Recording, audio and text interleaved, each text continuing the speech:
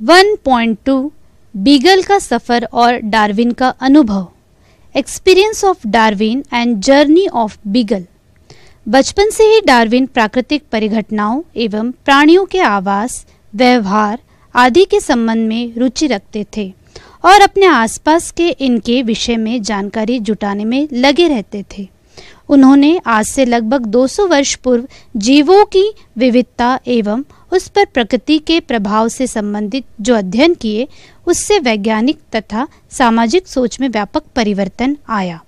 सन 1831 में डार्विन को इंग्लैंड से दक्षिण अमेरिका होते हुए पृथ्वी के कई महाद्वीपों की सैर करने का मौका मिला।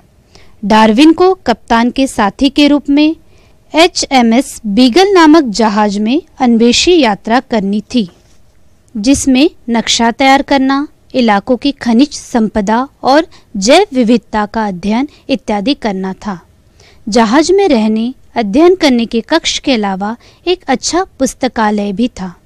बीगल का सफ़र 27 दिसंबर 1831 से शुरू होकर 2 अक्टूबर 1836 में खत्म हुआ।